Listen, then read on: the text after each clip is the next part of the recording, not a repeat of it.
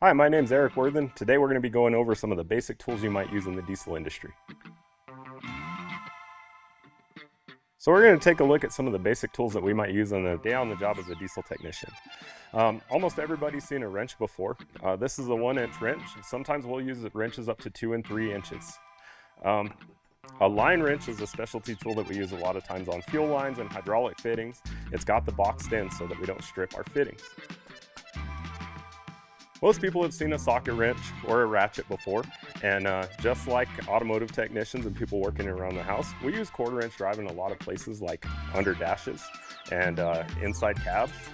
We use 3 8 all over the truck, everywhere from the windshield to, uh, or from inside the cab to chassis work to engine work and things like that. But most of the time when we're doing suspension or heavy duty engine work, we'll reach for the half inch drive or bigger. Whenever it comes to sockets, a lot of people actually don't know the difference between a chrome and a black socket. A chrome socket's meant to be used with hand tools, like the ratchets I have here in my hand.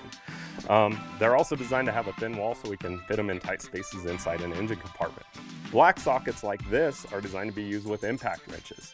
They're made of a softer material, so they're designed to absorb the impacts. If we use a, a chrome socket like this on our impact wrench, we can damage the tools and, uh, and put ourselves in danger because the tools might break.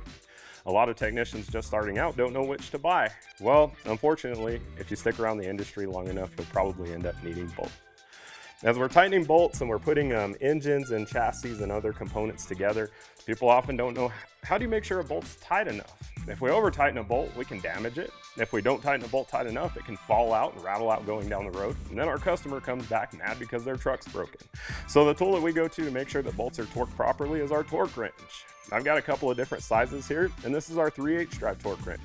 It's probably a good tool for anyone that likes to work on their cars or equipment around their house to own. Um, this tool here helps us make sure that we're properly tightening fasteners. They come in different styles. This is also a 3H drive torque wrench. We call it a 3H drive because our square drive on the end is 3 eighths of an inch. Here's our half inch digital. This is really fancy, but whenever you're building 15 to $20,000 engines all day, we wanna make sure that we torque everything to specification and we're doing our job right.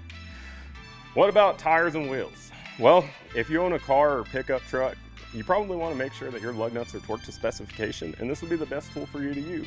Uh, we torque, uh, generally we'll, torque automotive lug nuts to about 100 foot-pounds of torque, and this is the right tool to use. What about when we're working on semis and heavy equipment?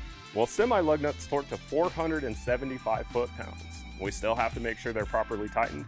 So whenever we're uh, working on uh, truck wheel ends, we, we like to use our large torque wrench here, which is a three-quarter drive. This one here can tighten bolts up to 650 foot-pounds of torque. Thanks for coming to the CNM Diesel Lab. Check back soon for more videos.